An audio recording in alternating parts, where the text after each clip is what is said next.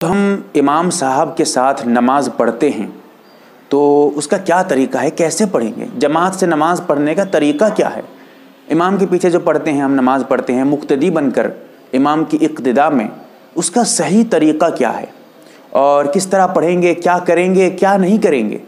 मैं इन ये मसला आपका ऐसा हल करूँगा कि अब इस मसले के बारे में, इसके बारे में आपको किसी को, अब किस, किसी तरह का कोई मसला पूछने की ज़रूरत नहीं होगी आपको।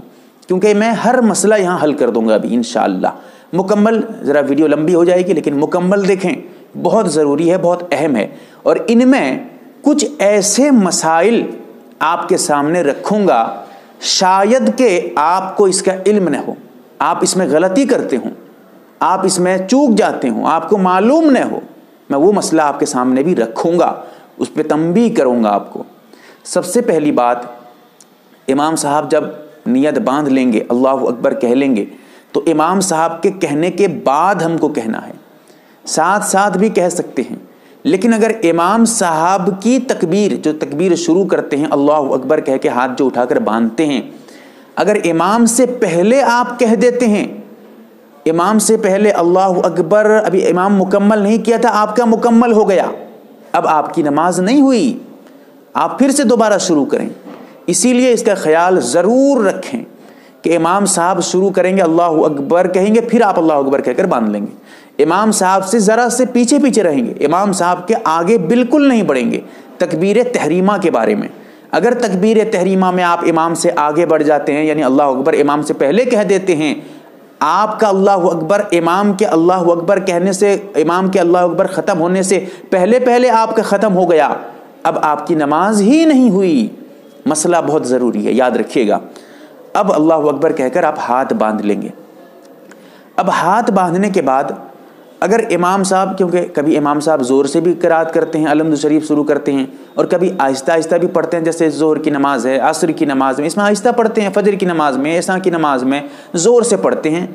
तो अब जो है, अगर ज़ोर वाली नमाज़ है, जैसे फजर की नमाज़ में इमाम साहब ज़ोर से किरात करते हैं तो ऐसी सूरत में अब अल्लाह अकबर कहने के बाद आप सना पढ़ना शुरू कर देंगे। सुबहान अल्लाहुम्म व बिहमदी का व तबारकस्म का व तला जद्दु का वला खैरुक ये जो पढ़ते हैं, सना पढ़ते हैं। इसको पढ़ने के बाद आप सना जो पढ़ेंगे, अगर आप सना अभी पढ़ रहे हैं, इमाम साहब किरात शुरू कर देते, अल्हम्दुलिल्लाह रब्बिल आलमीन शुरू कर देते हैं। जहाँ तक आप सना पढ़े हैं, वहीं पर ख़त्म कर देंगे, बंद कर देंगे। अब आगे नहीं पढ़ेंगे। हाँ अगर क्योंकि जल्दी जल्दी पढ़ने की कोशिश करें ज़रा सना को। इसलिए कि इमाम साहब किरात करने से पहले पहले, इमाम की किरात शुरू होने से पहले पहले आपके लिए सना मुकम्मल कर लेना है। अगर सना मुकम्मल नहीं किए हैं, जहाँ तक पढ़े हैं, वहीं से बंद कर देंगे, आगे नहीं पढ़ेंगे। ये सब मसला बहुत ज़रूरी है।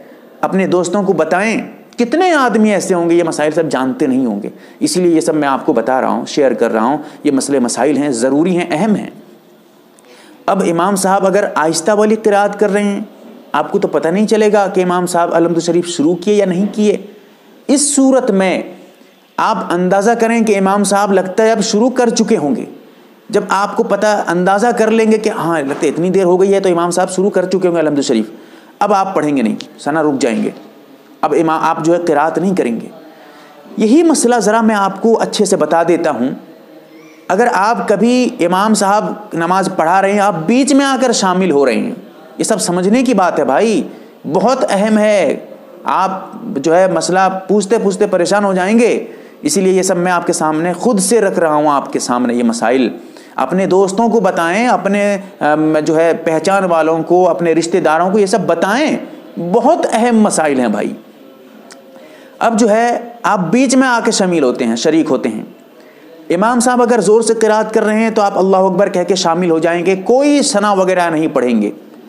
अगर आहिस्ता वाली किरात कर रहे हैं, उस सूरत में आप अंदाज़ा करें कि इमाम साहब किरात कर रहे हैं या नहीं।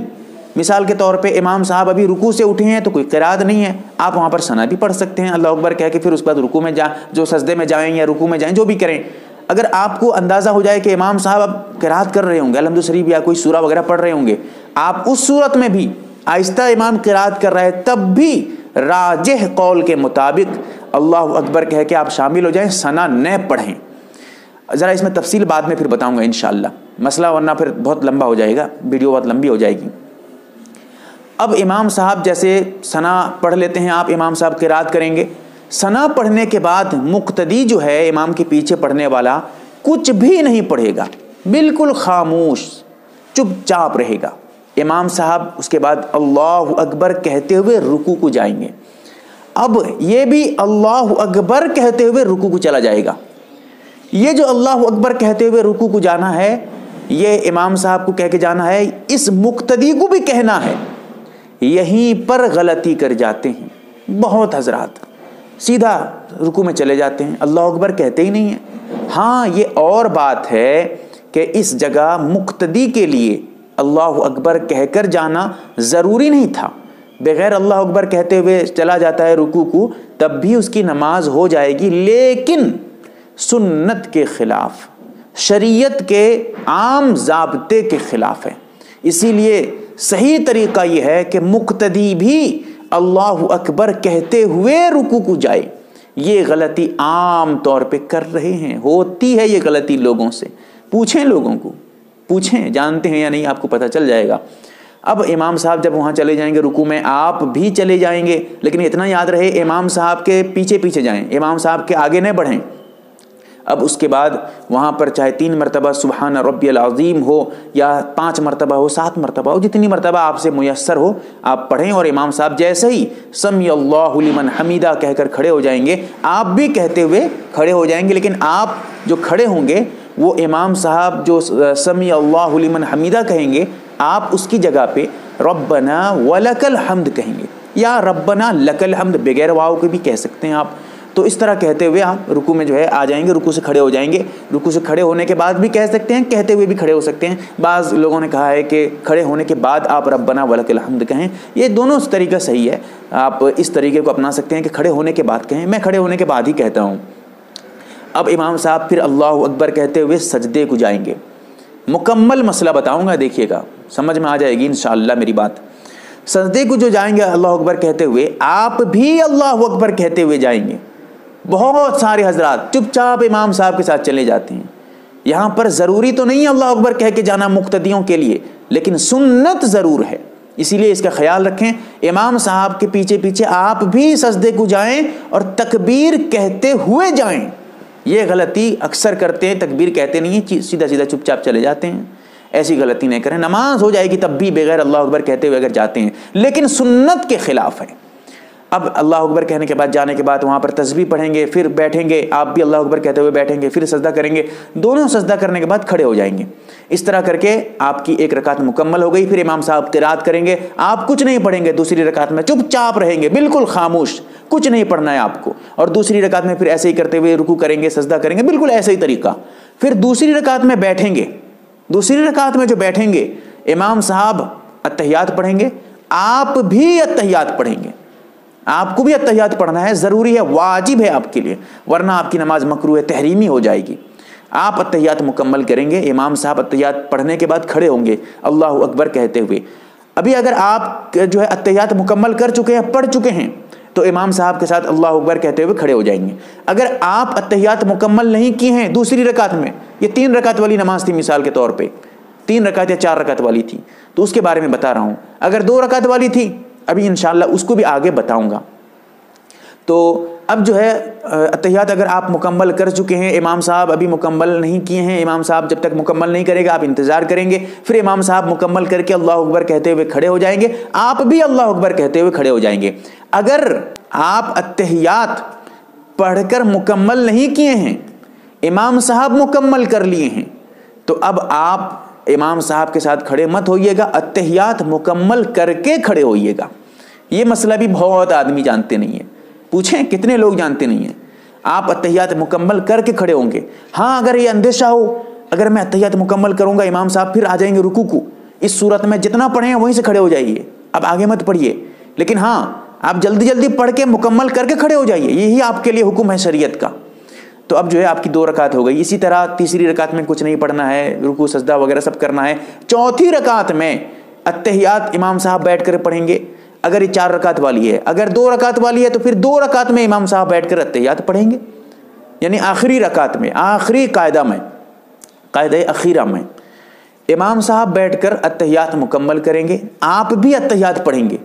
इमाम साहब दुरू शरीफ भी पढ़ते हैं, आप भी दुरू शरीफ अतहियात जिस तरह पढ़ते हैं, आप अतहियात पढ़ेंगे, फिर दुरू शरीफ पढ़ेंगे, फिर उसके बाद दुआ पढ़ेंगे। अभी आप जो है दुरू शरीफ या अतहियात वगैरह मुकम्मल नहीं किए हैं, इमाम साहब सलाम फेर देते हैं। ज़रा इसमें समझने की बात है, यहाँ मसला ज़रा टेढ़ा है, गौर करिएगा।